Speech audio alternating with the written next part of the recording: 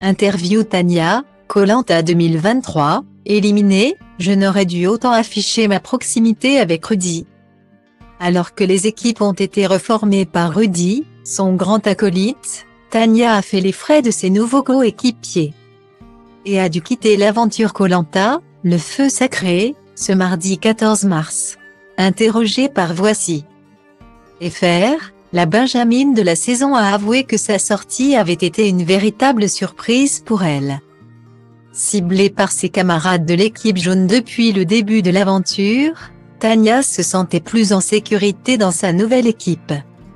Formée par Rudy, suite à l'épreuve surprise en élimination directe, qui a vu s'incliner Elodie. Mais la Benjamine de cette édition du Feu Sacré a été prise pour cible par la stratégie de ses nouveaux coéquipiers et leur sentence a été irrévocable. Suite à son élimination, Tania s'est entretenue avec Voici. Et faire pour revenir sur cette aventure dont elle rêvait depuis des années. Voici et faire, vous sembliez vous sentir beaucoup plus à l'aise dans votre nouvelle équipe. Aviez-vous vu votre élimination venir? Tania, je ne l'ai absolument pas vu venir sachant que Rudy m'avait dit qu'il avait une stratégie en béton.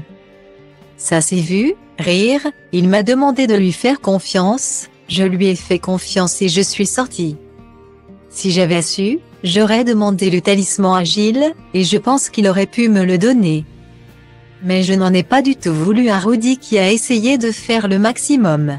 Il y a eu un retournement de situation et même lui a été pris au piège, il a failli sortir à ma place. Vous avez rapidement été la cible de vos coéquipiers jaunes, avec votre acolyte Benjamin. Que vous reprochaient les autres aventuriers. Dès le premier jour, j'ai été mise sur la sellette. Il m'avait clairement dit que Célia sortirait. Puis moi, puis Benjamin.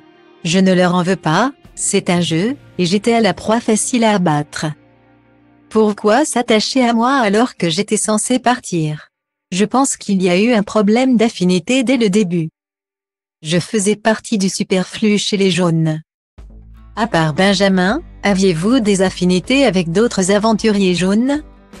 Ça m'arrivait de parler avec Gilles et Grace, mais le reste absolument pas. Quand j'ai eu le talisman. Ils ont commencé à me parler un peu, mais avant ça, il n'y avait aucune discussion. Et ce n'est pas faute d'avoir essayé, une fois, deux fois, trois fois.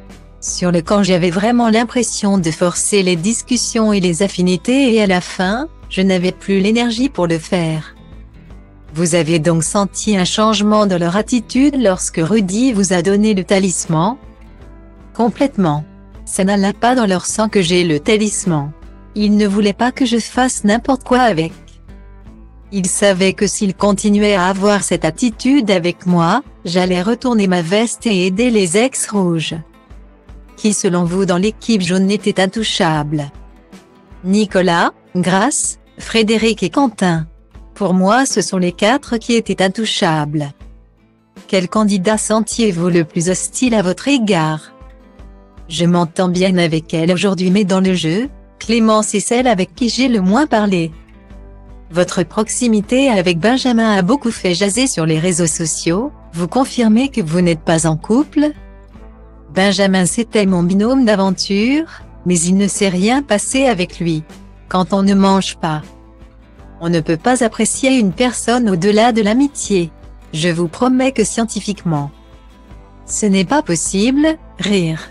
Je suis très contente d'avoir rencontré Benjamin dans l'aventure. C'est vraiment devenu un très bon ami avec qui je suis encore en contact. Vous avez indiqué souffrir du syndrome de Raynaud. Pouvez nous expliquer comment cela affecte votre quotidien? En aviez-vous fait part à la production? Non, je ne leur avais pas dit. Rire, le syndrome de Raynaud, c'est une mauvaise circulation du sang dans l'extrémité des membres. J'ai les doigts et les pieds constamment froids, même s'il fait 50 degrés dehors. C'est très handicapant au quotidien, je ne peux pas sortir sans gants, je ne peux pas être sur mon téléphone quand je marche dans la rue. C'est très contraignant. Imaginez-vous sur l'île, il faisait tellement froid la nuit. Nous dormions dehors avec des vêtements trempés, avec le froid et l'humidité. Sans chaleur humaine. Il était impossible de dormir. Benjamin et moi n'étions pas les seuls à dormir collés. Mais on ne peut pas tout montrer. Et vous imaginez bien que je n'allais pas dormir collé à Quentin ou Frédéric. À qui je ne parlais pas la journée, rire. Affichez votre proximité avec un Rudy, un membre de l'équipe adverse, ne vous a-t-il pas porté préjudice? Si, car on sait que dans Colanta, quand il y a un binôme dur, les autres souhaitent le casser. Si je ne sortais pas à ce conseil, ça aurait été Rudy. Nous n'aurions pas dû autant afficher notre proximité. Frédéric et Quentin vous ont reproché d'avoir retourné votre veste. Partagez-vous leur avis? Honnêtement oui. Mais c'est complètement compréhensif de par la situation dans laquelle j'étais. Pourquoi faire confiance à une équipe qui ne m'a jamais fait confiance et qui m'avait clairement dit que j'étais la prochaine à sortir? Arrivé sur le camp des nouveaux rouges. Ils ont vu que sans moi ça allait être compliqué d'aller plus loin, et ils ont essayé de me retourner le cerveau en me faisant croire que je n'avais jamais été en danger. J'ai trouvé ça petit qu'ils essaient de me retourner le cerveau une fois qu'ils ont eu besoin de moi. J'étais clairement la prochaine à partir et ils me l'avaient dit par le passé. Donc oui. J'ai suivi mon alliance avec Rudy, et pas celle des ex-jaunes. Si c'était à refaire. Par rapport à mes valeurs, j'aurais refait pareil. Était-ce votre première inscription à Colanta Pas du tout, je m'inscris depuis que j'ai 17 ans, même si je n'avais pas l'âge légal, rire, j'ai dû m'inscrire 5 ou 6 fois. Vous vous êtes blessé au genou à quelques semaines de partir. Aviez-vous prévenu la production? Oui, car j'ai fait les dernières étapes du casting en béquille.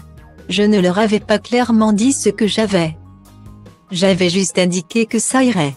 Au final, je n'ai pas menti, mon genou ne m'a pas lâché. Je n'ai pas pu performer comme je l'aurais espéré si je n'avais pas été blessé. Mais pour participer à l'aventure de mes rêves, j'y serais allé sur les coudes.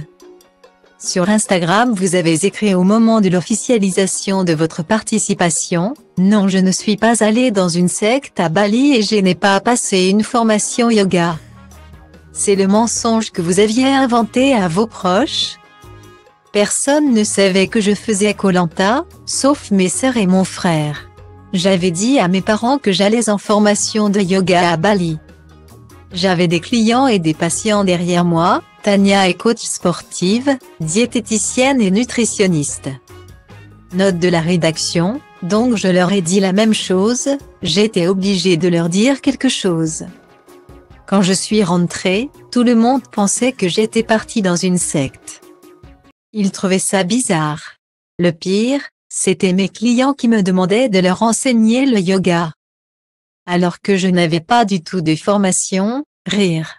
Ça a été des mensonges à répétition.